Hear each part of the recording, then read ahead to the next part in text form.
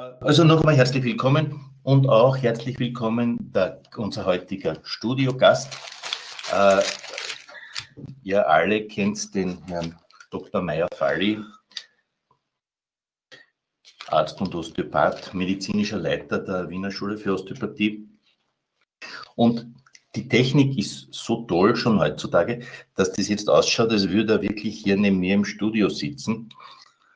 Das ist unglaublich, gell? Also, ist, wie, wie, wie, also, also könnte ja. dich berühren. Fast, ja, fast, fast wäre es möglich. äh, ich, wollte, ich wollte ursprünglich äh, diesen, dieses Café Stillpoint Corona-frei halten. Also eine halbe Stunde am Tag oder eine Stunde am Tag, wo es um was anderes geht. Aber einige der Vortragenden haben gesagt, es gibt da doch was drüber zu sagen und das wäre doch wichtig. Einer davon war der Erich. Und wie ihr schon gelesen habt, da wahrscheinlich ist der Erich ja Spezialist für eigentlich alles. Also auch für, auch für Viren. Unter anderem, ja. Bitte, also, darf, ich dich, darf ich das Wort an dich übergeben nach dieser Einleitung? okay. Also, ich möchte dich wieder ganz herzlich begrüßen hier in diesem hübschen Café. Ähm, und ich möchte mich, Raimund, ganz herzlich bedanken für die Einladung zum Kaffee, besser gesagt zum Tee. Wir sind eher die Teetrinker. Ähm, ist ein ausbaufähiger Tee, aber ganz okay. Das Getränkeangebot ist ausbaufähig, aber wir haben die besten Gäste hier. Okay, das stimmt. Also wirklich sehr nett hier. Äh, danke, Raimund. Ja, ich, ich, muss mich auch entschuldigen, weil ich da jetzt mit einem Hut da sitze, aber das hat auch einen Grund. Erstens ja, warum der Hut? Ja, nein, ich hätte schon erklärt. Ja. Also äh, der Hut deswegen, äh, erstens mal, äh, mein Friseur arbeitet gerade nicht. Jetzt wollte ich euch das nicht antun. Äh, und jetzt ein bisschen ernster gesagt, ich will mal den Hut vor all denjenigen ziehen, die jetzt in diesen Zeiten auch solidarisch genug sind und auch darauf verzichten, ihre Ordination aufzumachen und dadurch, glaube ich, schon auch einen wichtigen Beitrag leisten, um die Infektionskette auch zu unterbrechen oder von der Geschwindigkeit her deutlich zu, zu minimieren. Also das wäre wär mir ganz wichtig. Äh, und außerdem werde ich dann ein bisschen das Immunsystem erklären. Äh, und da braucht man immer einen Hut und man braucht ein Handy dazu. Äh, alle Schüler, denen ich schon mal erklärt habe, die wissen das durchaus. Stichwort Praxis und Praxisschließungen. Das ist die große Debatte unter den Kollegen. Ja. Was ist das ethisch Richtige zu tun? Okay. Soll man die armen Patienten leiden lassen, denen was weh tut, und alle anderen vor Corona schützen? Oder soll man sagen, ich will da mitmachen bei dieser gemeinsamen Anstrengung, die Ausbreitung zu verlangsamen? Okay, also ich, ich traue mir es jetzt nicht ganz, wie Sie sagen, als, als allgemein zu sagen, aber ich traue es mir von meiner persönlichen Seite her zu sagen, was ich darüber denke. Äh, also ich glaube schon, dass es jetzt, oder sagen wir so, dass jede Gesellschaft es immer wieder fordert, gewisse solidarische Schritte zu setzen. Und deswegen fände ich es oder finde ich es durchaus sinnvoll und angebracht, äh, ja, einfach auch die Praxis zu schließen. Ich kann sagen, wie es ich bei mir gemacht habe, Fälle, die an und für sich Notfälle sind, die sonst ins Spital gehen würden, äh, die behandle ich. Also ich will vermeiden, dass diese Menschen dann noch äh, irgendwie mehr Viren ausgesetzt sind. Aber ansonsten, trotz allgemeiner Einkommensbußen, äh, ist die Praxis eigentlich geschlossen, weil, äh, weil es wirklich ganz, ganz wichtig ist, momentan diese Kette zu unterbrechen. Und es scheint so, wenn ich so, wir werden über Zahlen nachher ein bisschen reden, äh, scheint ganz gut zu gelingen. Aber es ist noch viel zu früh, um wirklich jetzt genaueres zu sagen. Mhm. Okay. Ja, ähm, Raimund, dann würde ich sagen, ich, ich erzähle jetzt ein bisschen ja, was, bitte, ja, äh, was ich so heute vorhabe äh, zu erzählen. Äh, ganz konkret wird es heute um, um vier Teile gehen ähm, vier Bereiche. Ich werde euch einmal erzählen, äh, so ein bisschen euch einen Überblick geben, ähm, wie, was Viren sind. Klingt ein bisschen komisch, aber so versuche eine Annäherung, ein bisschen ein Virus zu verstehen. Äh, dann werden wir etwas konkreter über äh, Coronavirus reden. Dann möchte ich so ein bisschen äh, ein paar Lücken schließen im Wissen über die Immunabwehr. Und ich glaube, so ein wichtiger Anteil ist, was ist denn unsere Rolle? Wie könnten wir therapeutisch an so eine Situation herangehen? Äh, wie schaut es auch nach dem, nachdem wir wieder öffnen können?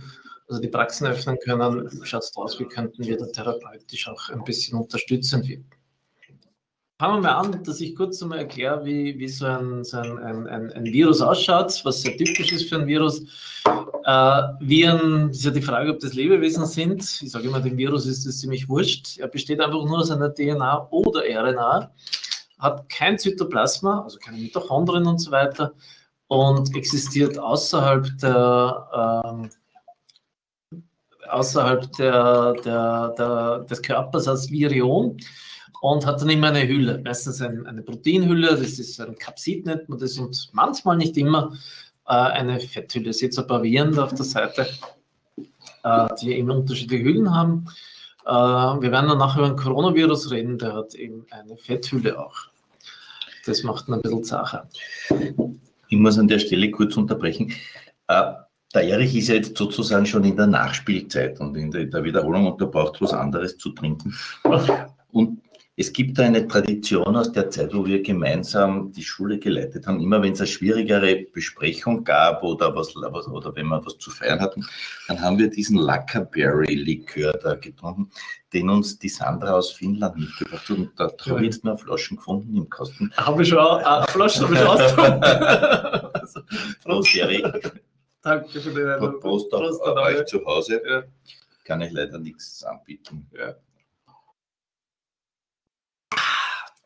Gut. Okay, ich hoffe, ich kann noch weitermachen.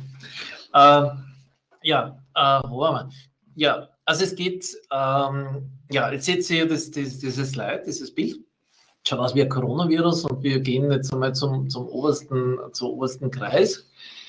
Ähm, es gibt viele unterschiedliche Familien von Viren. Es gibt Herpesviren, Epstein-Barr-Viren und so weiter die Familie uns beschäftigt momentan ist die Chronovirenfamilie.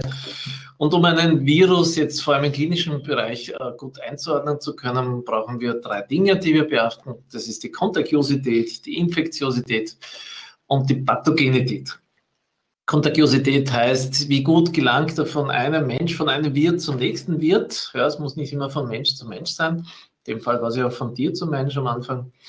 Ähm, das hat damit zu tun, wie gut lebt ein, Virus außerhalb des Körpers, wie lange überlebt er da.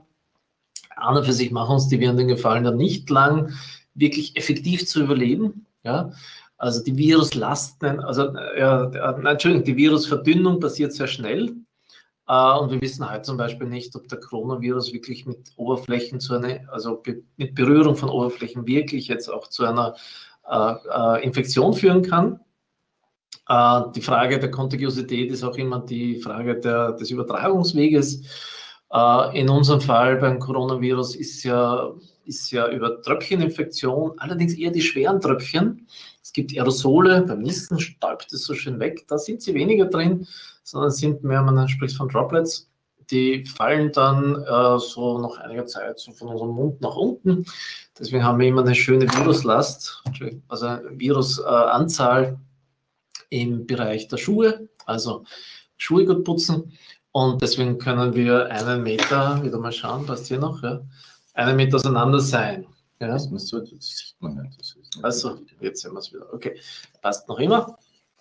Äh, ähm, Im ersten Durchgang hat Raimund erwähnt, deswegen trage ich einen Hut, weil es ein bisschen gefährlich ist, wenn der Nachbar vom Balkon oben spricht. Dann geht es ein bisschen weiter. Ja. Ähm, ja, also die Übertragung kann auch anders sein. Beim HIV-Virus zum Beispiel wissen wir es über Körperflüssigkeiten. Ja, und dann ist die Frage, wie gut dockt dieser Virus dann in unseren Körper an? Über das reden wir dann, wenn wir über ein Coronavirus mehr sprechen.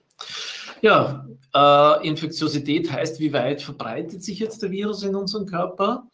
Äh, führt er dann überhaupt zu Symptomen? Ja, was macht er in unserem Körper? Wie weit springt das Immunsystem dann noch an? Äh, und Pathogenität bedeutet, was macht dieser Körper, äh, Entschuldigung, was macht dieser Virus in unserem Körper? Äh, führt er wirklich zu Symptomen, was eigentlich Viren ganz selten machen oder gar nicht so häufig machen? Auch hier wissen wir beim Coronavirus, dass er wahrscheinlich, also wissen tun wir es eben nicht. Man schätzt, zu 40 Prozent haben überhaupt keine Symptome. Die Frage der Symptome ist auch, wie heftig reagiert das Immunsystem? Also umbringen tut uns eigentlich meistens unser eigenes Immunsystem in dem Zusammenhang. Ja, also das beschreibt dann die Pathogenität. Ja, unser Körper reagiert mit Hilfe der spezifischen Immunabwehr, vorwiegend sicher auch mit unspezifischen. Das rettet uns auch momentan ganz gut. Ähm, Fakt ist, es ist eine Art unspezifisches Virus beim Coronavirus und deswegen haben wir ein großes Problem. Ja, was macht ein Virus in unserem Körper? Oft gar nichts, oft eben Infektionen mit entsprechenden Symptomen aufgrund der Abwehr eigentlich, zumindest Abwehr nicht ganz am Anfang, sondern wenn die Abwehr überfordert ist, wenn Zellen kaputt gehen, wenn es zu Nekrosen kommt, dann werden wir dann später noch kommen. Aber Viren können auch durchaus Neoplasien verursachen. Äh, also dadurch, dass sie Gene in uns verändern, zu Mutationen führen können, äh, ist das ein Grund für einige äh, Karzinome und andere Neoplasien. Welche Testmöglichkeiten gibt es bei, bei Viren? Da gibt es die Polyketten, äh, Polymerase-Kettenreaktion, Entschuldigung, PCR. Da werden äh, die Teile der DNA des Virus festgestellt. Die ist momentan sehr wichtig beim Coronavirus. Man kann auch manchmal Antikörper feststellen. Das zeigt schon, dass das Immunsystem arbeitet und zum Teil Oberflächenantigene. Ja, und dann ist ganz wichtig eine Zahl, die Basisreproduktionszahl. Äh, das heißt, wie viele werden von einem Wirt weiter? Wie hoch ist die Zahl? Und diese Zahl entscheidet auch, wie hoch ist die Herdenimmunität. Also ab wann, ab wie viel Prozent Ansteckung wird dieser Virus nicht mehr weitergetragen? Also ab wann verhungert der Virus in einer Population? Ja, und da hilft uns eben auch eine Impfung. Äh, die bei sehr vielen Viren schon möglich ist, aber wie gesagt, durch diese Neuheit dieses Virus bei uns noch nicht gegeben ist, da braucht es immer eine Vorlaufzeit. Ja, und welche Therapien gibt es im schulmedizinischen Bereich? Ja, wenn man ehrlich ist, wir kämpfen schon gegen Viren oder sie sind auch schon ähm, seit langer Zeit bekannt und wir kämpfen schon lange dagegen. Sehr potente Virostatika haben wir noch immer nicht. Ja, Viren sind total unterschiedlich, auch von den Oberflächen. Äh, Coronavirus ist eigentlich relativ unkompliziert, deswegen ist es auch schwer anzudocken an diesem Virus. Es gibt ein paar Möglichkeiten, die habt ihr hier aufgezählt. Leider auch sehr viele Virostatika und viele Nebenwirkungen, weil sie sehr unspezifisch auch wirken. Okay, gehen wir jetzt äh, zum, äh, zum Effekt eines Virus auf eine Zelle. Ihr seht hier äh, im, im Bild im oberen Bereich, dass dieser Virus, der hier in eine Zelle eindringt, so äh, Stückchen haben, die wegstehen. Man spricht von Spikes. Das ist die Möglichkeit, wie ein Virus andocken kann. Und da braucht es wirklich eine gewisse äh, Fähigkeit vom Virus und das hat dieser neue Coronavirus leider bekommen, eben an Zellen überhaupt anzudocken. Und wenn der Virus einmal andockt und erfolgreich war mittels seiner Spikes, äh, dann wird er oft mittels Endozytose in die Zelle hineingetragen. Ja? Die Mechanismen wissen wir noch nicht genau, warum das die Zelle macht, ein bisschen blödsinnig. Ja, aber es passiert eben, dann kommt es zum Uncoating, also die, die Hülle wird verloren, wird abgestreift und die vorhandene DNA oder RNA beim äh, Coronavirus äh, wird dann im Zellkern äh, vermehrt. Der Virus hat Fähigkeiten mittels Polymerasen und so weiter, das anzuregen. Die Zelle macht sklavisch dann Ketten von DNA und produziert dann neue Viren. Und diese neuen Viren werden dann wieder ausgeschleust äh, und da gehen sehr viele Zellen dann kaputt, was zum Teil ein Vorteil ist, weil natürlich dann das Immunsystem so richtig anspringt. Ja, zum Teil äh, werden sie einfach nur ausgeschleust. Wie hoch, wie viele Viren da ausgeschleust werden, das ist eine Zahl, die man Burst Size nennt. Also äh, das kann sehr unterschiedlich sein, von wenigen hundert bis mehreren tausend Viren pro Zelle.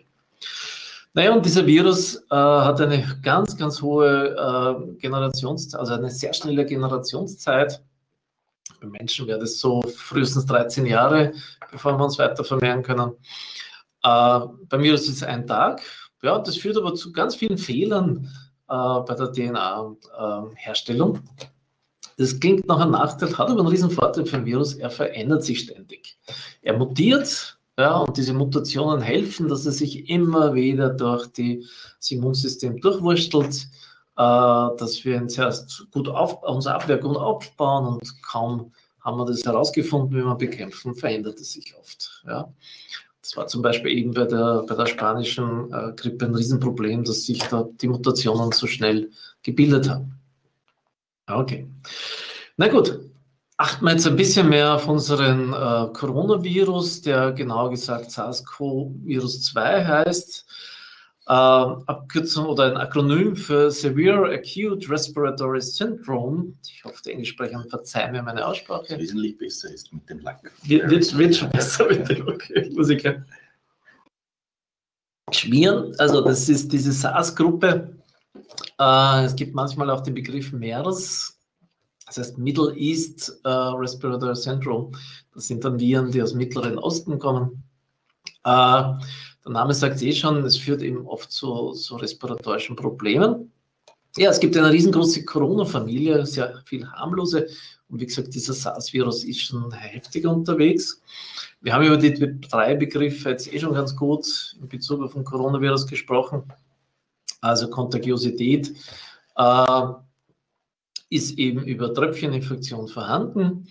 Äh, er überlebt relativ lange an gewissen Oberflächen, Plastik und Metall relativ lange. Das heißt aber nicht, dass man sich wirklich drüber, darüber anstecken kann. Ähm, es ist noch nicht klar. Also die direkte Übertragung ist sicher äh, die wichtigere. Ja, es ist ein artenspezifischer Virus, wie schon erwähnt. Äh, deswegen haben wir definitiv ein Problem, äh, das spezifische Immunsystem agieren zu lassen. Und, wie glaube ich auch schon jetzt beim zweiten Durchlauf erwähnt, äh, ist er fähig, an Herzzellen anzudocken mit seinen Spikes und an Lungenzellen. Und das ist das große Problem. Wir wissen, dass vorwiegend Patientinnen und Patienten betroffen sind, die schon Lungen- und Herzerkrankungen haben, vor allem eben Herzerkrankungen, arterielle Hypertonie oder andere Herzerkrankungen, sind ein großer Risikofaktor, äh, weil er dort sich anheften kann und dann eben zu großen Problemen führt. Ja, äh, zu Problemen, die man unter Covid-19-Pandemie zusammenfasst, ganz wichtig, Fieber. Ja, äh, Fieber mit trockenen Husten. Äh, es läuft relativ schnell ab. Ja, innerhalb von zwei, drei, vier Tagen werden die Patienten atmungspflichtig, wenn sie wirklich Symptome haben, starke Symptome haben. Äh, und oft kann es aber nach drei, vier Tagen auch wieder vorbei sein oder eben leider auch immer wieder äh, zum Tod führen. Äh, es gibt auch vorbei. Auch vorbei, ja. Es gibt immer wieder, äh, äh, also Tests sind momentan ein großes Thema. Dieser PCR-Test ist jetzt am sinnvollsten, wo man einfach die äh, DNA-Stückchen äh, ähm, weniger erkennen kann. Ja, also Tests für Antikörper wären jetzt nachträglich interessant, um zu schauen, ob, äh, ob Menschen da jetzt ausgeheilt sind oder nicht, ob sie jetzt, oder besser ausgeheilt ist das falsche Wort, ob sie jetzt Antikörper gebildet haben oder nicht. Die Basisreproduktionszahl ist beim, bei diesem Coronavirus äh, drei. Also das heißt, ein Mensch kann drei weitere anstecken im Schnitt oder steckt im Schnitt weitere an. Es können natürlich wesentlich mehr sein, es kann auch null sein, hängt davon ab, mit wem man zu tun hat. Aber diese Zahl führt zu der Herdenimmunität von 60 bis 70 Prozent. Ab dieser Zahl äh, wären wir aus dem Schneider mehr oder weniger. Wir haben leider keine Impfungen, die uns da helfen, auch ohne Infektionen damit umzugehen.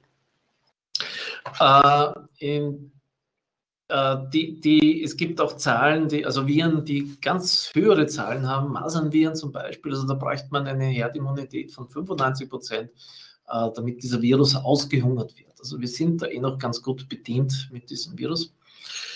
Generell zu Zahlen, es geht immer viel um Infektionszahlen, wer ist jetzt infiziert. Ähm, muss man immer aufpassen. Eigentlich hängt die Infektionszahl sehr stark davon ab, wie viele Tests überhaupt gemacht werden. Wichtigere Zahlen ist meiner Meinung nach die Zahl, wie viele Menschen sind jetzt im Spitalsaufenthalt äh, aufgrund des Coronavirus. Das sind jetzt momentan 147. Äh, also das sind die Zahlen von heute vom Gesundheitsministerium. 147 werden im Spital äh, behandelt. 16 äh, Patientinnen und Patienten sind ähm, intensivpflichtig, werden also beatmet auch. Äh, und äh, 25, glaube ich, sind jetzt auch schon gestorben. Das sind die Zahlen, wo wir uns festhalten können und die wir berücksichtigen müssen, um zu erkennen, äh, wie erfolgreich wir jetzt in dieser Suppression, wie man es jetzt momentan nennt, und die sicher eben noch ihren Sinn hat in der ganzen Systematik. Ja, Therapie gibt es eben auch noch nicht viel. Ich habe eh schon darüber gesprochen. Es gibt viele Dinge, die gerade überlegt werden, aber äh, uns fehlt halt auch die Zeit. Äh, jede Therapie muss auch getestet werden und man greift deswegen eher auf bekannte Mittel zurück und hofft, dass das auch wirkt und funktioniert. Okay, äh, acht mal kurz. Äh, ja, jetzt kommt die Stelle, ersten Durchlauf, wo ich schon äh, kurz unser Immunsystem erklärt habe. Ähm, ja, ganz banal gesagt, wir haben Makrophagen. Diese Makrophagen sind fähig, auch jetzt durchaus diesen Virus aufzunehmen. Ähm, jeder Virus, deswegen dieser Hut, hat eine Oberfläche und diese Oberfläche und die Eigenheiten dieses Virus, das Antigen wird dann präsentiert von den Makrophagen. Ja? Und die Präsentation von diesem Hut bedeutet, dass T-Lymphozyten jetzt andocken können, die spezifisch auf Viren mit diesen Hüten losgehen können. Entschuldigung. Ähm, und wir haben eben diese T-Lymphozyten in dieser Zahl nicht. Das ist jetzt ganz verwirrend. Die müssen erst gebildet werden und so weiter. Es muss das Immunsystem bei diesem Coronavirus erst äh, diese T-Lymphozyten auch produzieren.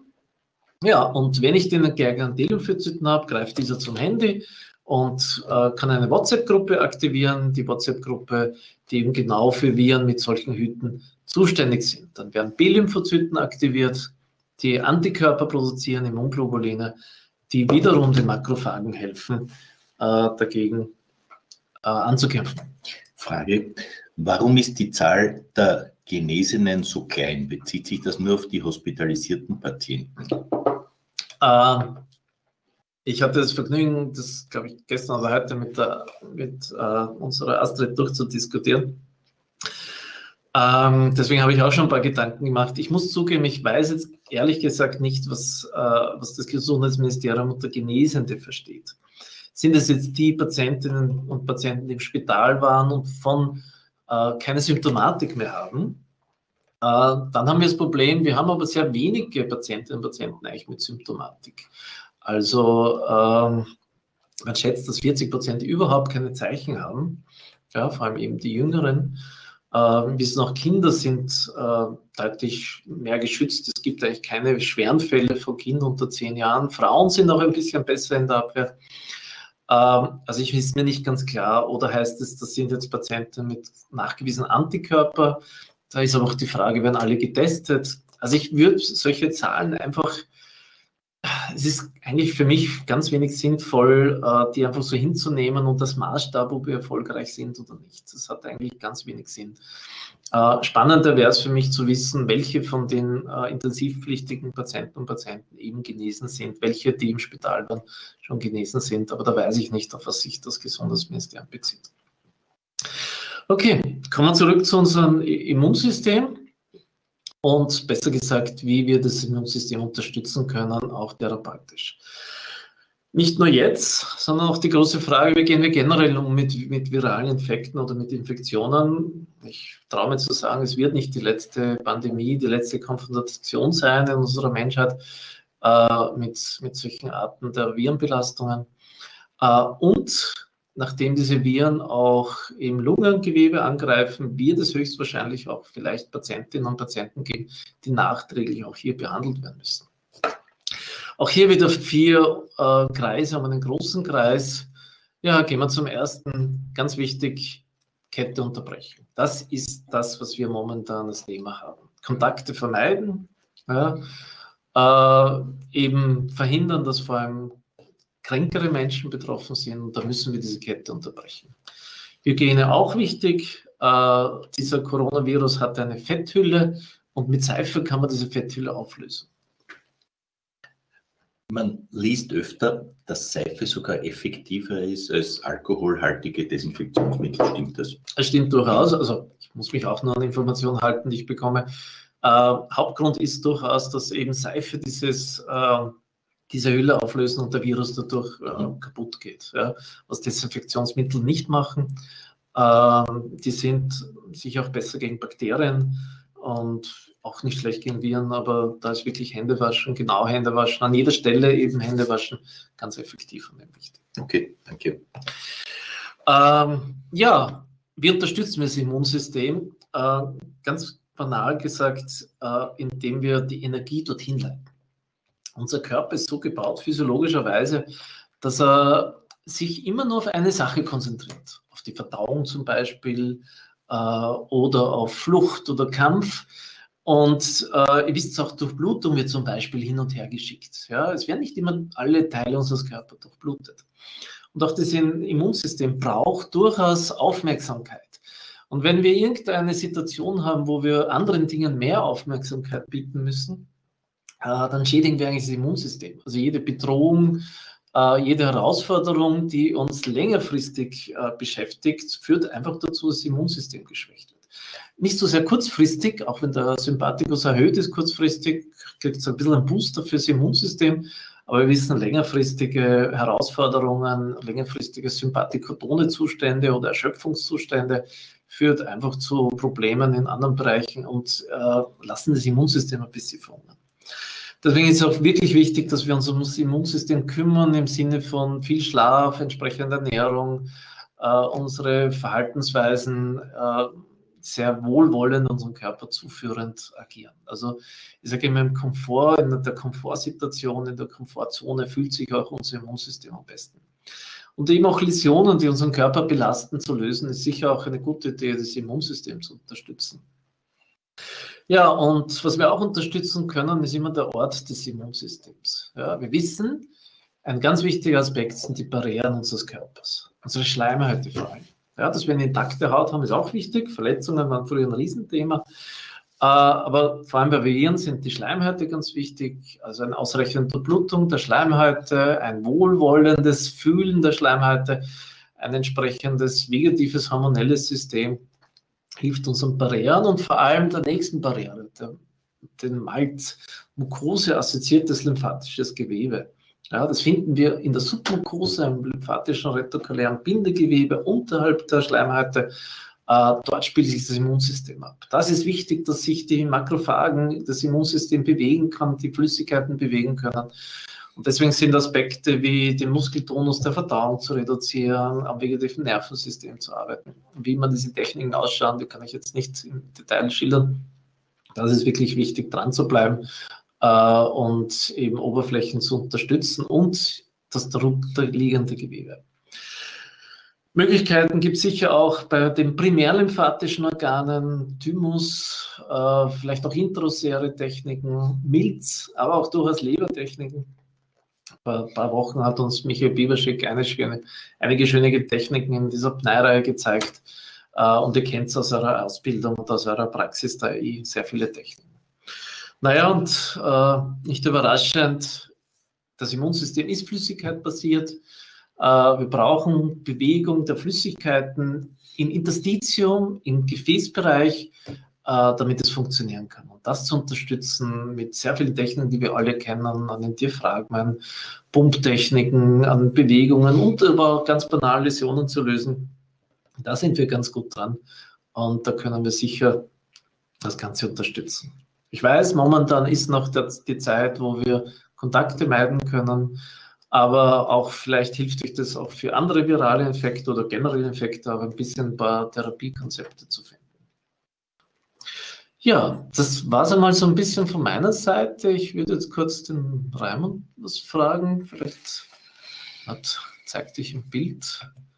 Ähm, es gibt ja auch äh, so eine kurze Überlegung, auch eine Studie, die äh, die osteopathische Behandlung bei Pneumonien betrachtet haben.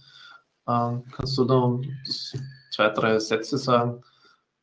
Ganz kurz, es gibt einige Studien, die da ganz interessant sind, aber die größte war die, von, die in Kirksville gemacht wurde. Brian Degenhardt und seine Kollegen haben das dort am AT Still Research Institute gemacht, die sogenannte MOPSI-Studie weiß jetzt nicht genau auswendig, was MOPSI bedeutet, aber, aber was. Das klingt gut. Was, ja, klingt gut. Man muss immer, das Wichtigste an einer Studie ist eine coole Abkürzung. Mhm. Äh, aber es ging jedenfalls darum, Pneumoniepatienten, ältere Pneumoniepatienten im Krankenhaus osteopathisch zu behandeln und dann zu schauen, wie sich die, wie sich die Genesung äh, entwickelt und wie sich auch das, wie sich die Wirkung aufs Immunsystem auswirkt. Äh, und große Studie, über 400 Patienten mit Kontrollgruppe natürlich schön gemacht. Mhm. Und es ist da deutlich rausgekommen, dass wir sehr wohl Einfluss aufs Immunsystem haben. Mhm. Es war ja auch, äh, wie die spanische Grippe war, 1918, 20, mhm.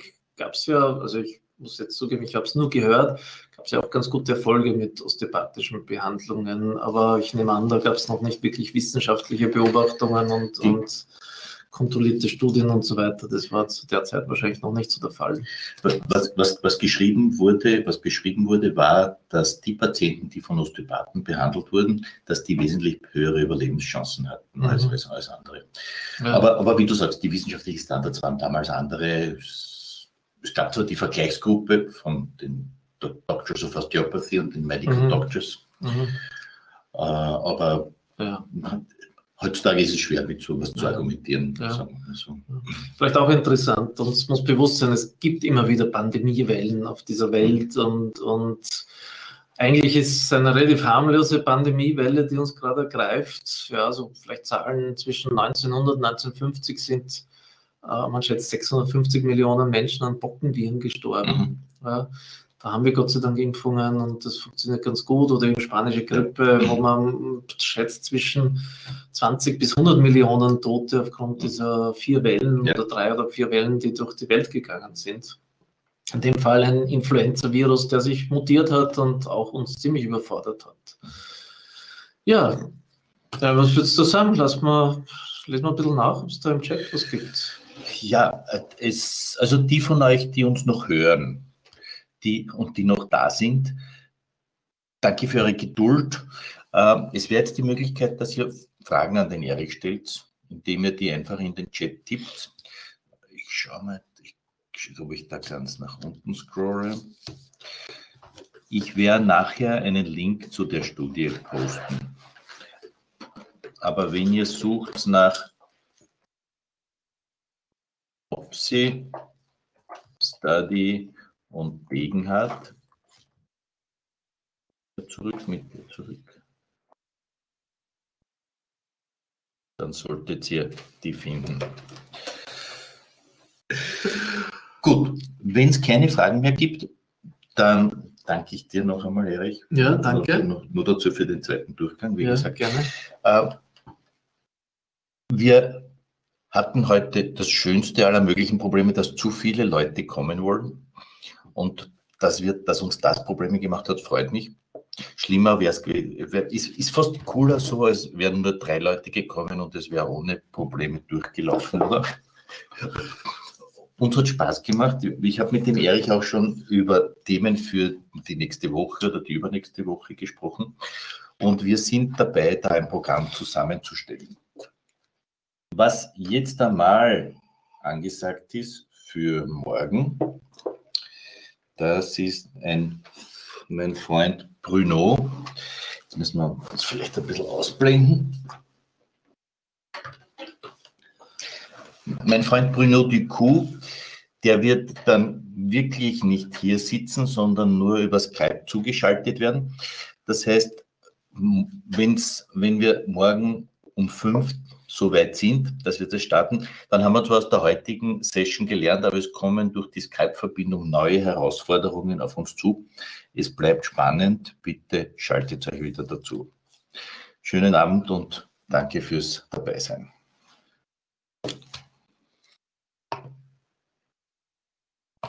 Sind wir weg? Wir sind noch da. Wir sind noch da.